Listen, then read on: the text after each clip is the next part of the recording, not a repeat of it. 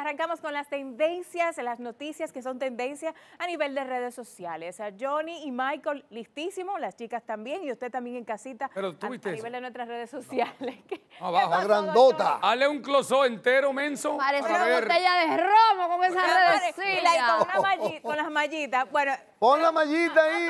Mueve la mallita, mueve la mallita, mueve la mallita, en la cosa. el día de hoy. Ah, ah, ah. ok, ya. Ella está viva, ella es lo que finge. No, ella está viva.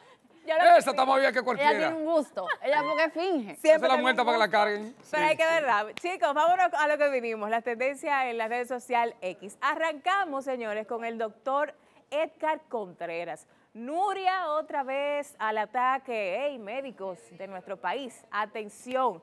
Pues el doctor Edgar Contreras quien se ha visto envuelto en ciertos conflictos relacionados con su desempeño profesional, es tendencia luego de la visita que le realizara nuestra apreciada y respetada amiga Nuria Piera. El video que se presenta y que ustedes están viendo en este preciso momento en pantalla, eh, donde fue un encuentro no muy amigable, para nada ami- amigable, y pues ha sido muy viralizado durante el trayecto de este fin de semana y el día de hoy. Nuria al ataque con los médicos.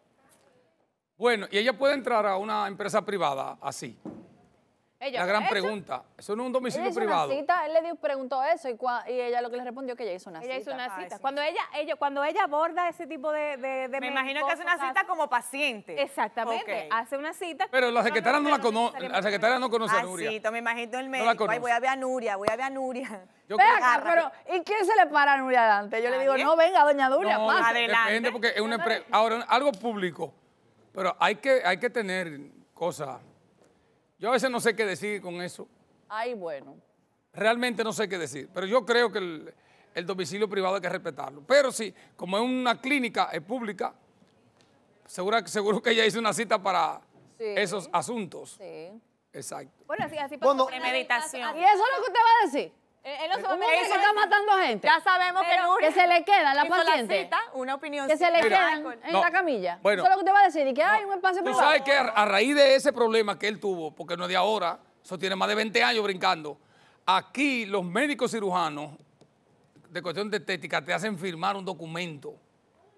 Te hacen firmar, ya no era como antes, eh, precisamente por eso, porque no son una ni dos. La gente no tiene una idea de las mujeres que han- han- se han quedado en quirófano de esa gente. La gente no tiene una idea, es lo que trasciende que uno se da cuenta. Hay muchos factores ahí que inciden. Hay muchos factores. Muchos factores Pero- que inciden, pero por lo Hay general, muchos factores. por lo general, cuando estas cosas suceden es porque no se hacen una evaluación previa, porque no se hacen los preoperatorios. Todo hay se hacen. A veces las mujeres piden, van por Cuando una cosa y piden paros tres. cardíacos, ya son otras otro Pero de todas maneras es la vida de una gente. Y La una, vida una persona no puede jugar con la vida de la gente.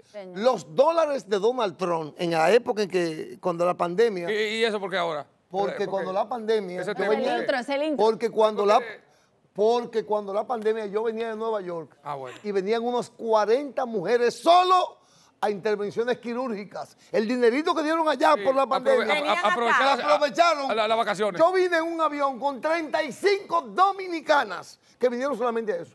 Quiero decir lo siguiente, dos cosas. Uno, a mí me parece que hay que seguir reglamentando Claro. este asunto de las intervenciones Sí. estéticas. Primero tienen que ser ¿por profesionales del área. Oye, ¿por qué, Johnny querido? Oye, ¿por qué? También hay pacientes que vienen, el médico le dice, mira, tú te quedas aquí en tu casa, tranquila, descansando 15 días, y al otro día cogen un avión y se van.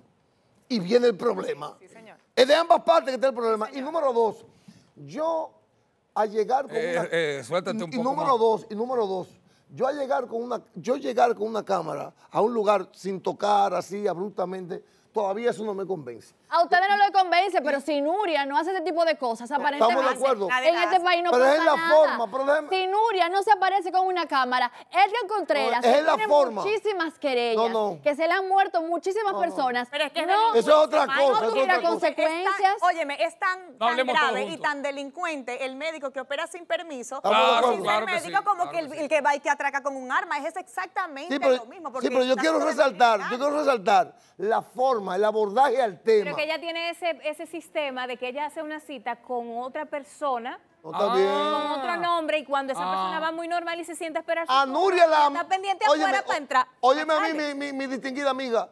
yo quien habla, que soy amigo de ella y la quiero profundamente, yo te digo ahora que la forma a mí no me- todavía no me satisface. El abordaje, Y oye, y, y- y el oye abordaje. esto, y oye por qué no me satisface. Porque a mí me gustaría que, que seamos en todas las cosas así. Por ejemplo, una que también hace trabajos de esa naturaleza, el día pasado la acusaron de X cosas y yo no he escuchado su respuesta. Esto es una sociedad que tiene que ir a, a ser igualitaria, democrática. Entonces, yo, Johnny Vázquez se pasa el día entero acabando con todo el mundo. El día que lo cuestione se queda callado. No, así no, a mí no me gusta esa, ¿no? Doctor, Claro, Marco, porque no era. Nuria. Marco, yo le voy a decir una cosa. Mi pregunta, Ajá. antes de yo cuestionar a Nuria por su trabajo de investigación periodística, que gracias a Dios que lo hace, porque yo me imagino que se salvaron un par de mujeres en lo que salió este No es cuestionar a Nuria. Pero me permite terminar. Sí, Sí, sí. mi amor, pero no es cuestionar a. Nuria. A Nuria no está cuestionando. Es la más porque tú tienes formas para hacer los trabajos. Todo el mundo sabe quién es Nuria aquí y la amamos, le adoramos. Lo que quiero decir es que todavía no me convence el- la, el- el- la forma en que ella usa para. Pero no habrá un previo, Michael, que nosotros desconozcamos, porque de repente puede haber un previo, que ella anteriormente ya haya abordado a la persona eh, y que simplemente lo que se haga eh, expuesto en las redes sociales o en la televisión sea ya cuando está todo cerrado. Mire. Pero puede ser que ella previo a eso haga, haga su investigación de una manera Pero más, más claro, presencial cuando- sin hacerla pública. Cuando ella se aparece ahí, ella ya tiene varios meses Claro. investigando a esa persona. Y hay que decir, este No es como el tercer reportaje que la misma Nuria Piera le hace a través de los Sí, años mismo es. a este cirujano plástico que cuando tú entras a la Asociación Dominicana de Cirujanos Plásticos que tiene una página web y pones el nombre de Eva Contreras, Él no te aparece. sale, No aparece. No te aparece. Entonces, por qué no mi está pre- preso? Mi pregunta es, ¿dónde está salud pública? Claro. ¿Dónde están las personas que le alquilaron este local? ¿Dónde está el anestesiólogo? Ahora van a Todos aparecer. los que La justicia, la justicia. Entonces, Ahora van a Te aparecer. digo que bendita sea la Nuria Piera que utiliza su trabajo para desmantelar este tipo de sí. asesinos, mutiladores, que se le mueren los pacientes ahí por pura, por, por, pura ignorancia y por no tener un país donde salud pública y donde el Estado no haga lo que tenga que creo que hacer. no hay otra forma, Gaby, de hacerlo. Yo creo que, que definitivamente este tipo Puede de haber otra forma, ¿eh? Hay que, hay que abordarlas a secas, porque si ya tiene tantos meses, y como bien tú lo acabas de decir, no aparece y el Ministerio de Salud no se ha ocupado, entonces creo que le está salvando la vida a muchas Claro. mujeres, porque diariamente son de 10 a 15 mujeres pero la las paciente que se está- operan, entonces de manera estética. La es paciente- una forma de abordarlo. La paciente y lo está haciendo legalmente. María Luisa, lo las pacientes lo, es- lo están defendiendo. Las mismas pacientes que él ha operado Ah, lo bueno. están defendiendo. Ah, bueno. Pero vamos a otra noticia ya. Sí, vamos a Eh, cambiar de ah, bueno. Señores, el, el- eh, soy yo, ¿verdad? Vamos a hablar Claro. de otro desorden. Vamos a hablar del Colegio de Abogados, que sigue siendo tendencia ahora con la intervención del Tribunal Superior Electoral, que se ha armado a lo que llamamos en nuestro país un arroz con mango. Y, y es que, ¿qué es lo que pasa? ¿Y cuál es el saborcito que tiene y el interés que causa el poder de este tribunal, de este colegio de abogados? Eh, yo creo que lo que no podemos evitar cuestionarnos y preguntarnos todos es que, ¿será que en este país todo tiene que ser un desorden? Ay, sí. Eso es parte de la, de la Ay, sí. idiosincrasia del dominicano. Bueno, es vergonzoso lo que está ocurriendo en el Colegio de Abogados. Ahora que hubo una alianza, que ahora no hubo alianza, ahora ese tribunal aprueba reconteo de los votos de manera individual por cada candidato. Pero hay un principio, si realmente había una alianza, hay una alianza, esa alianza postula a un solo, no a dos. Entonces lo que alega el tribunal es que esa alianza no fue formalizada. Y ahí, ahí sí vamos a tener un gran problema. Don Johnny, ¿cuál es el gusto de tener esa posición dentro del colegio? O todo, ¿Cuál es la el ADP, gusto?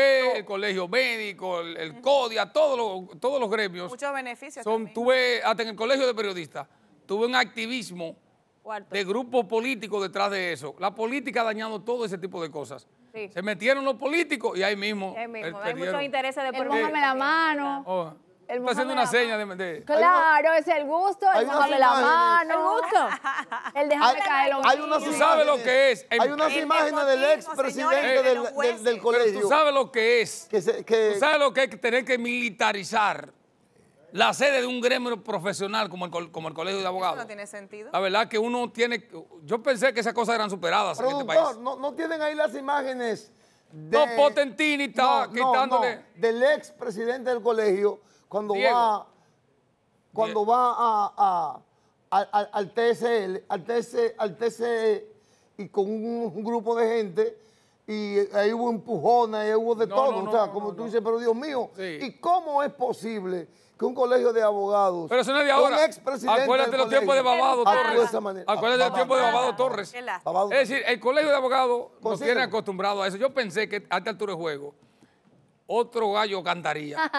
Mira, se ríe ella de mí, mira. Es un viaje de rebusero lo que hay ahí, de que con educación y Se formación. ríe muy lindo, por cierto, Un viaje de Gaby. rebusero información. Es que está Bueno. Malu. Públicamente hay mucha ñoñería con el sistema eléctrico, Con con, todo, con la todo. vialidad, con los abogados, pero hay muchas personas que están en tendencia y son figuras súper importantes en nuestro país. Y quiero hablarles de Omar Fernández, que sigue en la palestra. Pues uno de los hechos que lo ha mantenido en el tapete es su declaración respecto a si estaba llevando una campaña sucia a cabo. Entonces, esta campaña en contra de él, eh, que él se está refiriendo de que obviamente no está de acuerdo y que la quiere mane- manejar limpiamente, pues Omar Fernández, al rechazarla, re- realiza este tipo de estrategia política y solicita que en los próximos cuatro meses se evite este recurso y que se lleve a cabo una campaña clean. Qué lindo. Creo que un Todo plan- suena muy es un bien, planteamiento elegante. Él se caracteriza por ser una persona de propuestas. Yo creo que él es la diferencia del político joven del montón. Él va a una gran batalla, porque esta es una gran batalla.